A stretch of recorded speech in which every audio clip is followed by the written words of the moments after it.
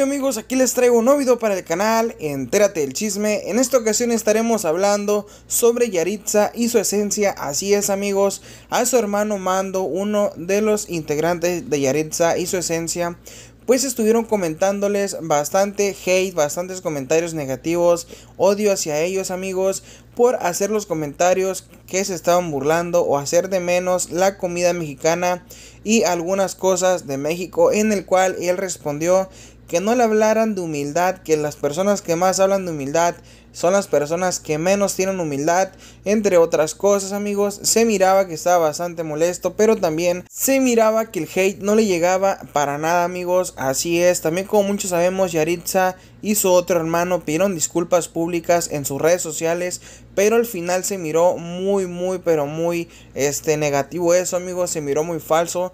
Y en otro video les estaré hablando sobre el tema, el día de hoy estaremos hablando solamente de mando. Los latinos te hicieron famoso y también te pueden quitar la fama, entiende. Entiendo, sé más.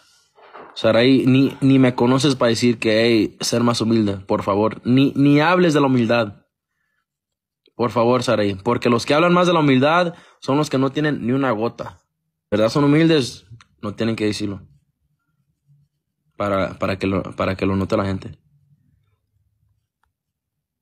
Boy, bye. Hey, ustedes son los que me, ustedes son los que me están dando aquí los views. Te apoyamos, gracias. Yo, yo los amo. Yo los amo, aunque me tiren mierda o lo que sea. Siempre. Si no les gusta cómo eres o cómo te ves, ¿qué hacen aquí? Eso es lo que digo.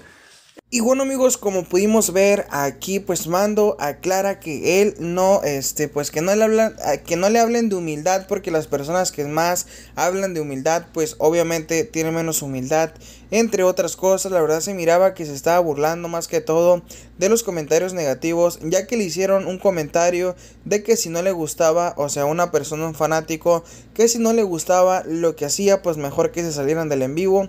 Pero obviamente la gente mexicana defiende totalmente toda su tradición, su comida, sus costumbres, entre otras cosas, y claramente no se iban a dejar. Déjanos tu opinión, qué piensas al respecto sobre lo que dijo Mando y también sobre nuestro contenido. Si te gustó el video, no olvides que puedes dejar tu like, suscribirte y activar la campanita para que te notifique cuando subamos nuevo video. Nos vemos, hasta la próxima.